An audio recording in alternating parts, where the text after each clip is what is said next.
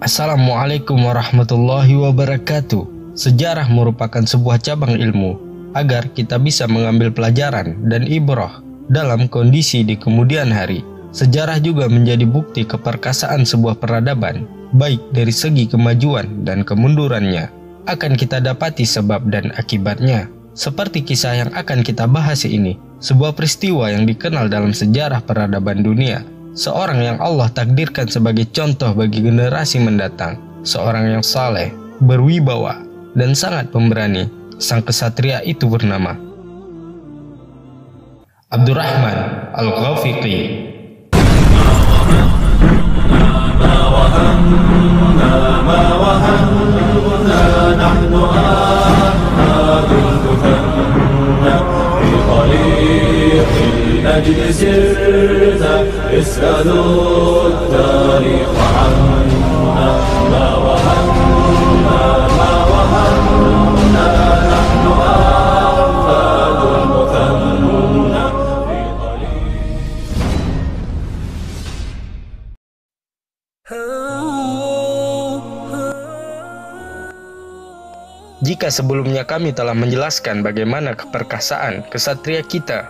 Musa bin Nusair, dan Tariq bin Ziyad rahimahullah, maka tidak salahnya kita membahas seorang kesatria yang sangat dikenal dalam sejarah.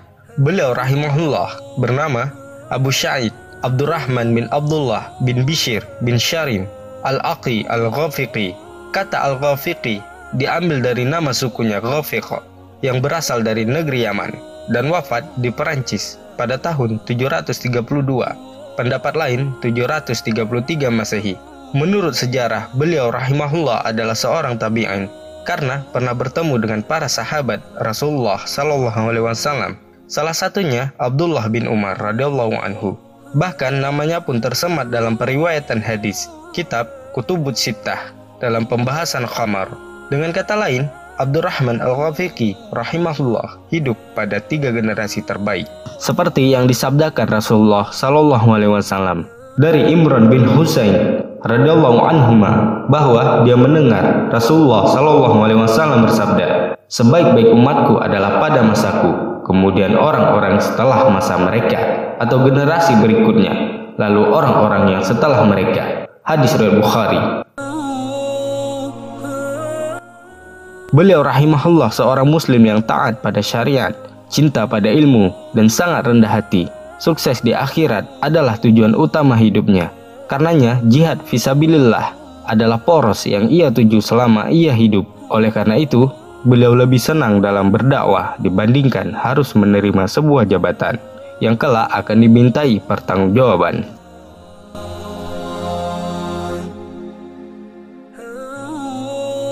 Sebagai seorang tabi'in yang alim, beliau pun harus melengkapi kejayaan muslimin yang kala itu dipimpin oleh seorang khalifah besar dan soleh yang bernama Umar bin Abdul Aziz rahimahullah.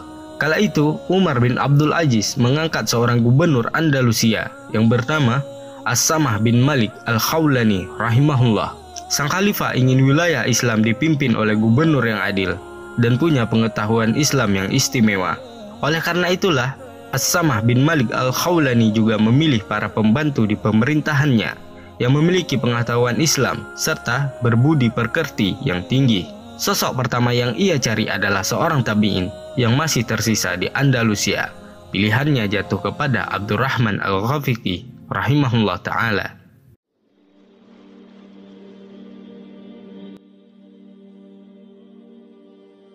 Musa bin Nusair rahimahullah yang telah kita bahas sebelumnya berhasil membebaskan beberapa wilayah di Andalusia dengan tekad baja Beliau rahimahullah melaju cepat bersama panglimanya Tariq bin Ziyad rahimahullah untuk menembus benteng-benteng kuat seperti Perancis, Konstantin, dan juga Roma.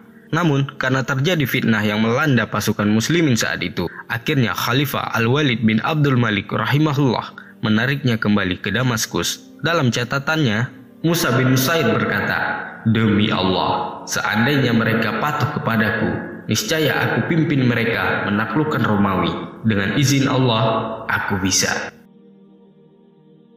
Namun, kerja keras dalam menegakkan agama tauhid ini di jantung Eropa dilanjutkan oleh As-Sama rahimahullah dengan gagah berani. beliau memimpin pasukannya untuk menyerbu Paris. Lantas As-Samah memindahkan pusat pemerintahan di Andalusia dari Sevilla ke Cordoba. As-Samah bergerak cepat dan berhasil menaklukkan wilayah Septimania dan menjadikan Narbonne sebagai basis militernya di Perancis. Selanjutnya, beliau rahimahullah terus melaju hingga ke Toulouse. Di sini terjadi pertempuran besar, di mana dua kubu yang bagaikan gunung saling berhadapan. Terjadilah pertempuran sengit. Asama rahimahullah yang bagaikan singa garang ini terus memotivasi pasukannya. Ia selalu di baris terdepan, tanpa mengenal rasa lelah. Ia bergerak ke sayap kiri dan kanan, dan terus berjuang. Namun, Allah menakdirkannya syahid. Kaum muslimin yang melihat sang panglimanya gugur, mulai goncang. Pasukan berhamburan tak tentu arah. Pasukan Romawi terus menyerang dengan semangat bahwa mereka akan menang. Di tengah keadaan yang genting ini, Allah pun memunculkan sang kesatria untuk memulihkan keadaan. Beliaulah Abdurrahman Al-Ghafiqi rahimahullah. Beliau memegang kendali pasukan dengan strateginya, melakukan perlawanan dan mundur secara teratur. Abdurrahman Al-Ghafiqi rahimahullah memimpin hanya beberapa bulan saja. Setelah itu, Gubernur Afrika Yazid bin Abi Muslim mengangkat Ambasah bin Sahim Al-Kalbi rahimahullah sebagai gubernur. Dalam empat tahun kepemimpinannya, Ambasah rahimahullah membersihkan bahaya fanatisme kesukuan antara Arab dan Barbar dan berhasil menaklukkan Valencia, Lyon, dan Ceylon dan menerobos 70 km bagian kota Paris. Ketika sudah terlalu jauh, Anbasa rahimahullah menginstruksikan agar kembali karena beliau mengkhawatirkan terputusnya bantuan. Dalam perjalanannya, beliau dihadang oleh bangsa Frank dan syahid pada tahun 107 Hijriah dan sisa pasukan berhasil kembali ke Narbonne. Selanjutnya, Azra Al-Fihri rahimahullah memimpin Beliau mengulangi penaklukan hingga ke wilayah Danau Roni sampai tahun 110 Hijriah. Selanjutnya, kekuasaan diserahkan kepada Abdurrahman Al-Ghafiqi rahimahullah untuk kedua kalinya.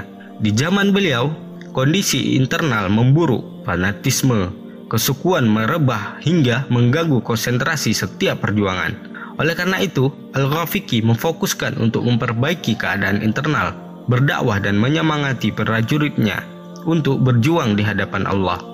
Beliau rahimahullah lebih mementingkan prajuritnya ketika mendapat ghanimah dan kesederhanaannya membuatnya sangat dicintai oleh rakyatnya.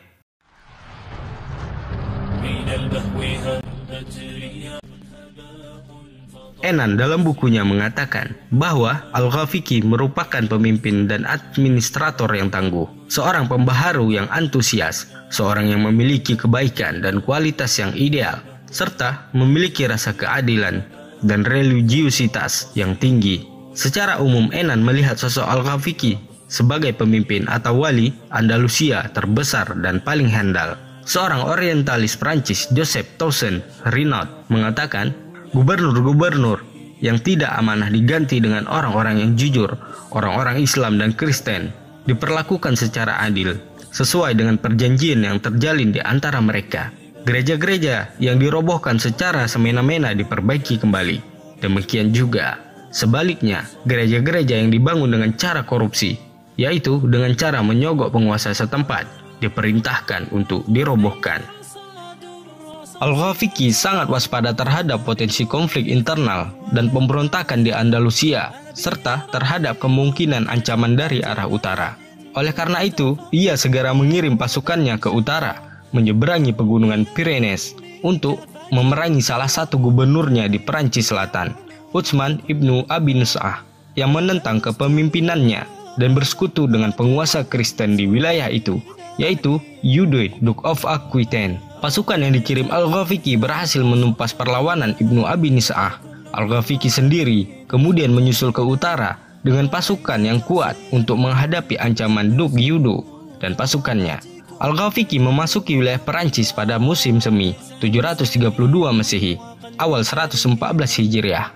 Kurang lebih satu tahun setelah ia diangkat menjadi wali Andalusia, satu persatu wilayah Aquitaine berhasil diduduki pasukannya.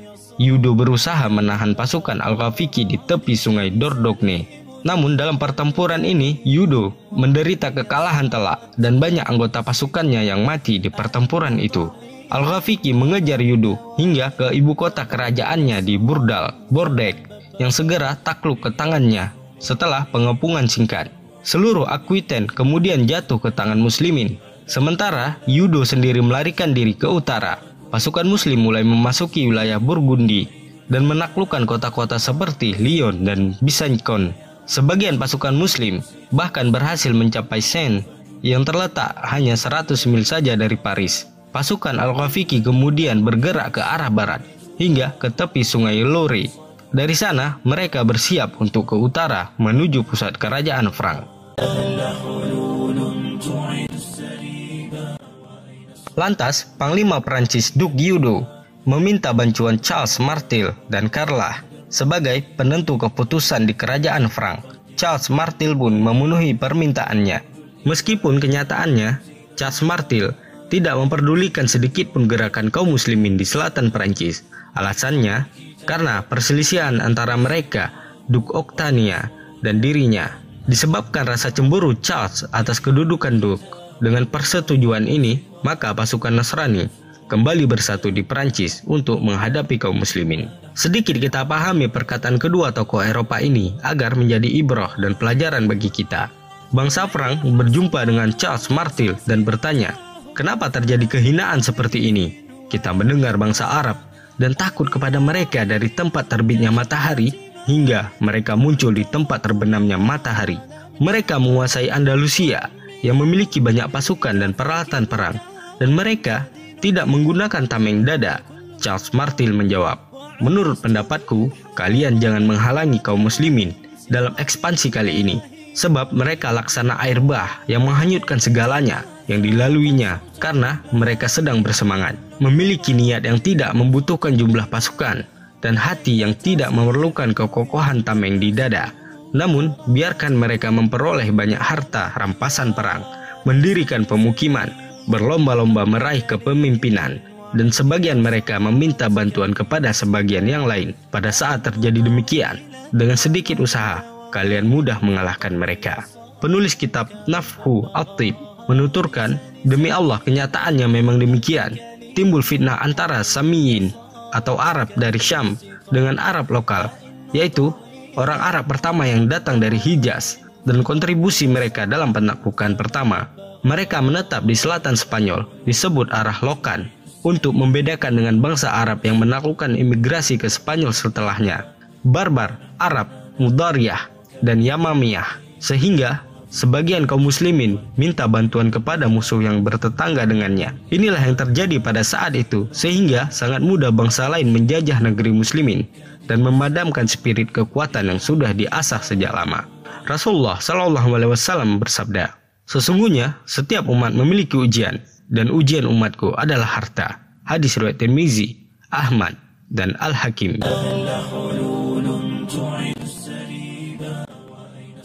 Pasukan Abdurrahman Al-Ghafiqi berasal dari kabilah Barbar. Hal ini disebabkan karena orang-orang Arab Afrika dan Andalusia masih tersengat penyakit konflik fanatisme, sedangkan sebagian lagi sibuk dengan pertanian-pertanian mereka. Tersisa Arab Yaman yang maju bersama beliau rahimahullah, sedangkan dari pihak Prancis mereka bersatu. Dengan kekuatan dan logistik yang mumpuni, terlebih bangsa Frank yang mempunyai banyak personil dan sangat berpengalaman menguasai rute perjalanan logistik maupun bantuan. Berbeda dengan kaum muslimin yang jauh dari kekhalifahan Umayyah, bisa dikatakan perbandingan kekuatan ini bangsa Perancis sangat diunggulkan. Maka, pada tanggal 13 tahun 733 Masehi atau bertepatan dengan 114 Hijriah, pertempuran yang sangat mengubah peradaban sejarah dunia antara kaum muslimin melawan pasukan Charles Martel dan sekutunya pertempuran yang dikenal Balad Syuhada, yang berarti istananya para mujahidin. Sedangkan Eropa menyebutnya The Battle of Thoughts, dan pertempuran pun dimulai.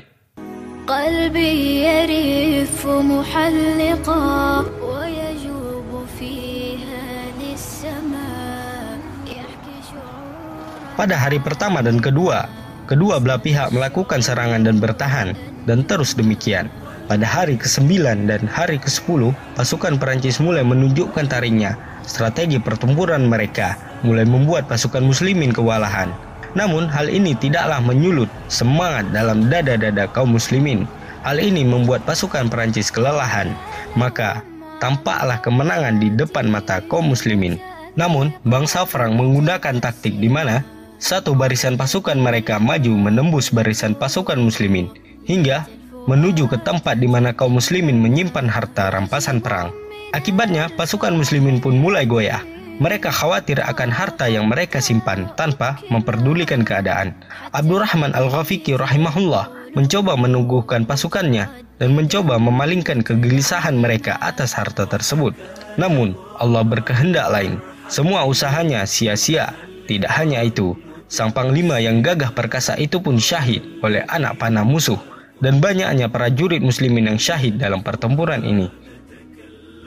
Sisa-sisa pasukan harus bersabar dalam pertempuran hingga malam hari dalam keadaan gelap gulita. Mereka pun mundur secara sembunyi-sembunyi menuju selatan hingga dalam sejarah dikatakan saat pagi hari, pasukan Farang tidak menemukan satupun pasukan muslimin. Mereka pun mengepung tempat kediaman muslimin. Namun, tempat itu sudah kosong dan hanya terlihat limpahan harta. Mereka pun mengambil semuanya dan tidak satupun dari pasukan Frank mengejar kaum muslimin karena mereka khawatir bahwa kaum muslimin merencanakan sesuatu untuk mereka. Inilah sepenggal sejarah yang dapat kita ambil pelajaran. Hingga seorang sejarawan, Gibbon, mengatakan, Seandainya bangsa Arab meraih kemenangan dalam pertempuran Tus, boleh jadi tafsir Al-Quran akan dijadikan kajian di Oxford dan Cambridge.